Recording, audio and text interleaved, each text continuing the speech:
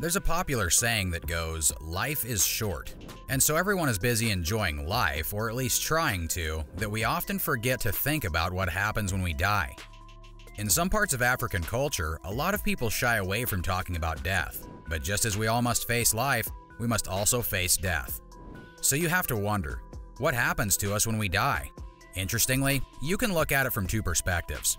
Many people wonder what happens naturally to the body when we die, while others are more interested in what happens after we die.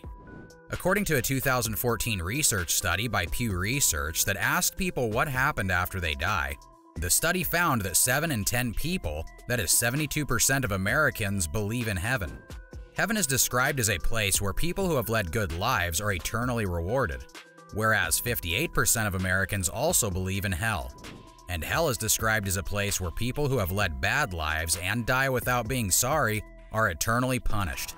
A more recent Pew Research study showed that about 26% of Americans say they do not believe in heaven or hell, while 7% say they do believe in some kind of afterlife, and 17% say they do not believe in any afterlife at all.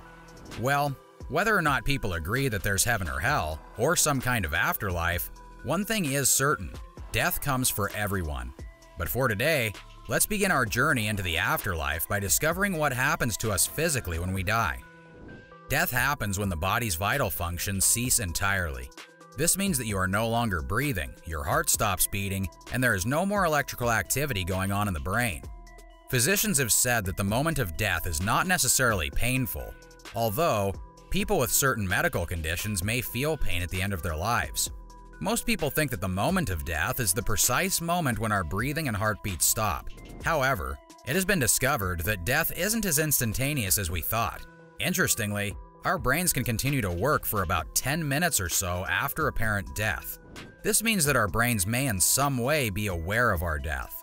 But when we die, the doctors have to certify the absence of a pulse, breathing, muscle reflexes, and pupil contraction to bright light.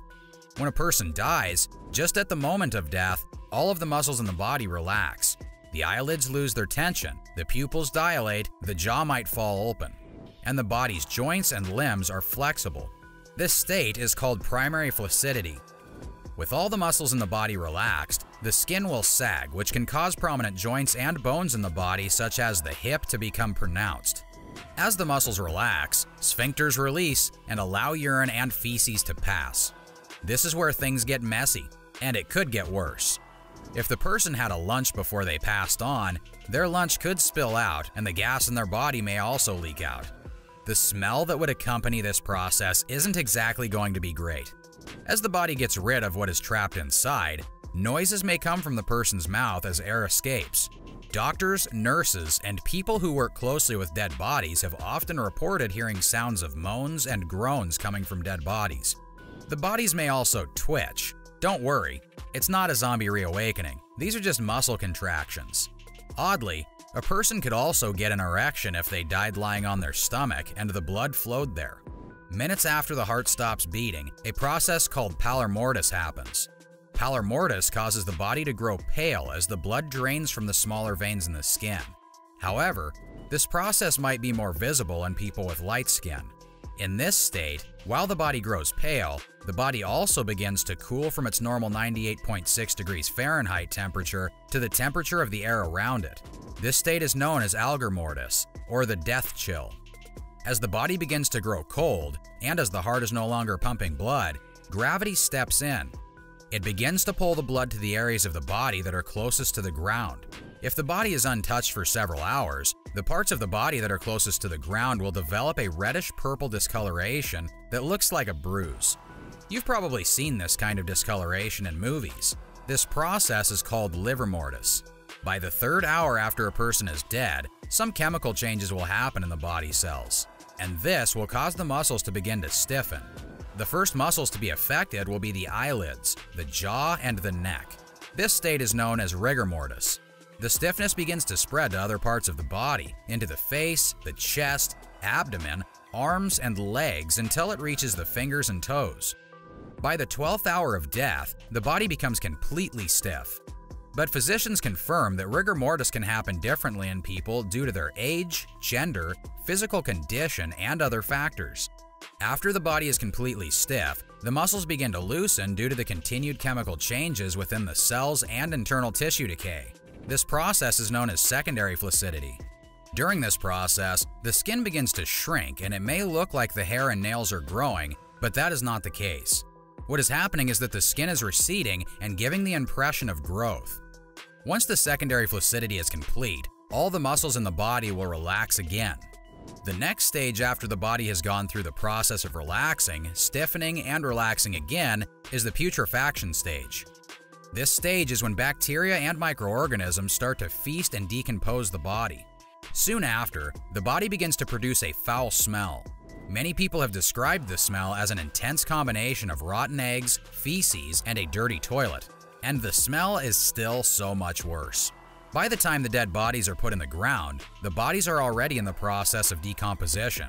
But if the body is embalmed, it would slow down the decomposition process.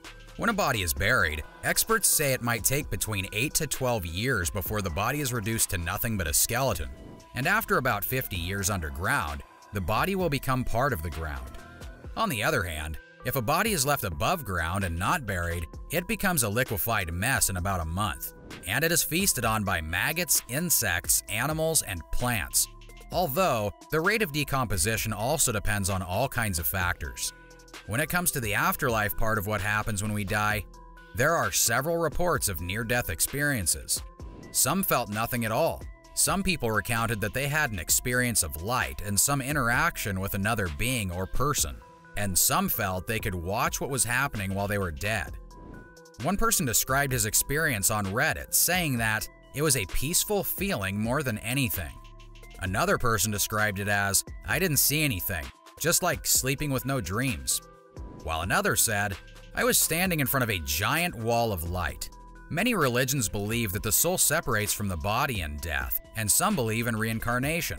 There are several theories as to what happens when we die. But one thing is certain our bodies are designed to shut down and die at some point. So it's just as good that we know what happens to them when we die. However, on the issue of the afterlife, I guess everyone would just have to wait and see for themselves. And with that, we've come to the end of this video. Please feel free to share your thoughts in the comments. Also, be sure to like, share, and subscribe for more. Thank you for watching, and see you next time.